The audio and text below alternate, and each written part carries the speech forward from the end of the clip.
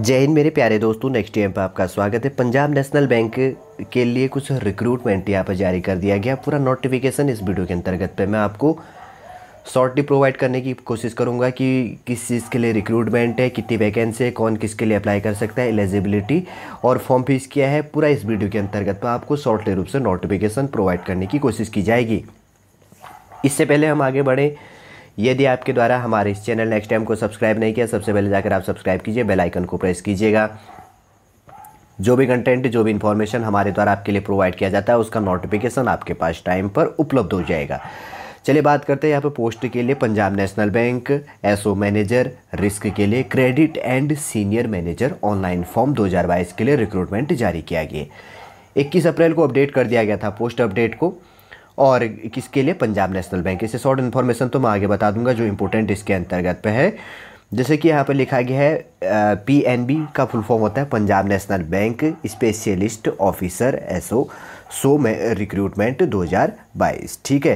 PNB manager के लिए senior manager 2022 short detail of notification application begin शुरू कर सकते हैं 22 चार 2022 मतलब 22 अप्रैल से फॉर्म भरना आप चालू कर सकते हैं और मई, सात मई 2022 को लास्ट डेट है।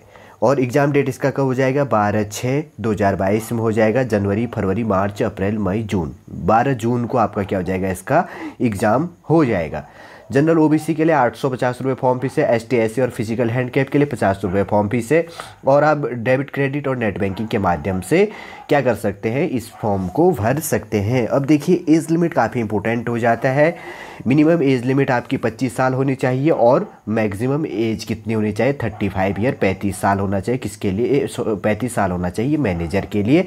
और मैक्सिमम एज मांगी गई 37 ईयर, किसके लिए? Senior manager. नीचे लिखा गया है, एज रिलैक्सेशन एक्स्ट्रा एज पर पीएनबी रिक्रूटमेंट रूल के हिसाब से आपको एज में भी छूट दी जाएगी। अगर टोटल वैकेंसी की बात करें तो 145 पोस्ट हैं। अब बात करते हैं पोस्ट के लिए। सबसे पहले बात करते हैं मैनेजर रिस्क के लिए। 40 पोस्ट है, इसके अंतर्गत पे है। तो इसके लिए क्वालिफिकेशन मांगा गया है। आपको बैचलर होने चाहिए आप मास्टर डिग्री इन मैथ्स ठीक है मास्टर डिग्री मतलब मास्टर डिग्री होनी चाहिए आपको मैथ्स से। एम या एम से रिलेटिव हो गया स्टैटिक्स होना चाहिए या इकोनॉमिक्स और क्या होना चाहिए? एफआरएम या क्या होना चाहिए? पीआरएम या क्या होना चाहिए? डी होना चाहिए या एम होना चाहिए फाइनेंस से, या सीए, या आई सी डब्ल्यू होना चाहिए, या सी एफ़ ए होना चाहिए, ठीक है? या क्या होने चाहिए? P G P B F with sixty percent marks and one year experience आपके पास होना चाहिए। मैनेजर रिस्क के लिए, तब आपके, इसके लिए क्या है? इलिजिबल है, अन्यथा आप इसके लिए इलिजिबल नहीं है। कोई भी एक होना चाहिए आपके पास में, ठीक है? यहाँ पर जो बैचलर डिग्री संबंधी जो मांगा गया है और दूसरे की बात करें तो मैनेजर जो क्रेडिट के लिए है, सौ पोस्ट है, इसके लिए eligibility C A charter accountant या मांगा गया है आई सी डब्ल्यू ए मांगा गया है या एम बी ए होना चाहिए, या क्या होना चाहिए P G D M with कितने सिक्सटी परसेंट मार्क्स से, और एक साल का आपके पास में क्या होना चाहिए वन ईयर एक्सपीरियंस होना चाहिए। ठीक है, तभी आप भर सकते हैं। थर्ड नंबर की बात करें तो सीनियर मैनेजर जो क्रेडिट है, पाँच पोस्ट इसके लिए है, इसके लिए एलिजिबिलिटी मांगी गई है सी ए आई सी डब्ल्यू ए या एम बी ए होना चाहिए, या P G D M with sixty percent marks और तीन साल का आपके पास में एक्सपीरियंस होना चाहिए, तब आप इस फॉर्म को भर सकते हैं। अब देखिए, अगर इसके अंतर्गत पे एग्ज़ाम सेंटर की बात करें तो उत्तर प्रदेश के अंतर्गत पे दिया गया है। वैसे उत्तर प्रदेश के अंतर्गत पे सेवेंटी फाइव जिलों के अंतर्गत पे देख लेना, मेन मेन जो ज़िले हैं उसके अंतर्गत पे एग्ज़ाम सेंटर बनाया गया है। राजस्थान के अंतर्गत की बात और बिहार, दिल्ली, एनसीआर के अंतर्गत पे है और उसके बाद में उत्तराखंड। उत्तराखंड के अंतर्गत पे तीन सेंटर हैं, एक देहरादून के अंतर्गत पे, एक हल्द्वानी, एक रुड़की के अंतर्गत पे भर सकते हैं। आपके लिए जहाँ पे नज़दीक है, आप क्या कर सकते हैं, इसके लिए भर सकते हैं। जैसे उत्तर प्रदेश के लिए तो चलो ठीक है, कोई दिक्कत नहीं है, राजस्थान के लिए भी ठीक है।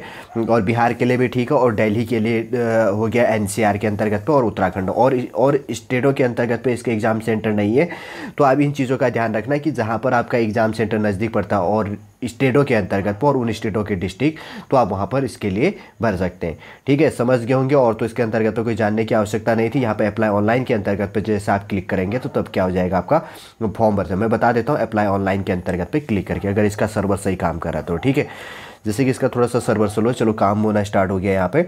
यहाँ पे दिया गया है कि अगर आपने रजिस्ट्रेशन किया है तो चलो ठीक है, और अगर आपने रजिस्ट्रेशन नहीं किया है तो येलो के अंतर्गत पे देखिए क्लिक हर न्यू रजिस्ट्रेशन कर सकते हैं।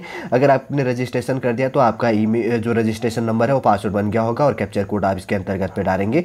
तो आप सबमिट पर क्लिक करके भर सकते हैं। जैसे हम रेड सॉरी ये येलो पर क्लिक करते हैं click here for new registration के अंतर्गत पे।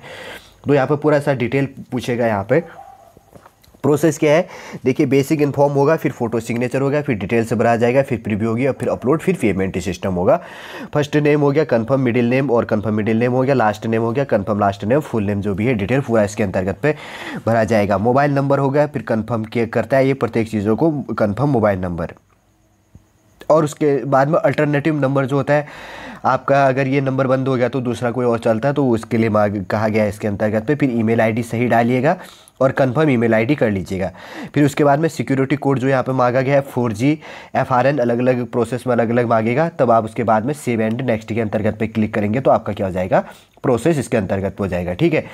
पंजाब नेशनल बैंक पीएनबी के लिए जो रिक्रूटमेंट मांगा गया था लगभग लगभग 145 पोस्टों के लिए, जो भी इन्फॉर्मेशन था, कैसे आप रजिस्ट्रेशन कर सकते हैं, कैसे आप फॉर्म भर सकते हैं, क्या एलिजिबिलिटी मांगी गई है, कब तक अप्लाई कर सकते हैं कौन कौन इसके लिए अप्लाई कर सकते हैं शॉर्टली रूप से इस वीडियो के अंतर्गत पर हमारे द्वारा आपके लिए प्रोवाइड करने की कोशिश की चलिए दोस्तों, समझ गए होंगे आज का इन्फॉर्मेशन यदि आज का इन्फॉर्मेशन आपको अच्छा लगे लाइक कीजिए कमेंट कीजिए और हमारे चैनल नेक्स्ट टाइम को सब्सक्राइब भी कीजिएगा तथा शेयर भी कीजिएगा। जो स्टूडेंट इस एग्ज़ाम की प्रिपरेशन कर रहे हैं, उसके पास में इन्फॉर्मेशन टाइम पर उपलब्ध हो जाएगा। चलिए दोस्तों नेक्स्ट वीडियो पर हम आपसे मिलेंगे। जय हिंद, जय भारत।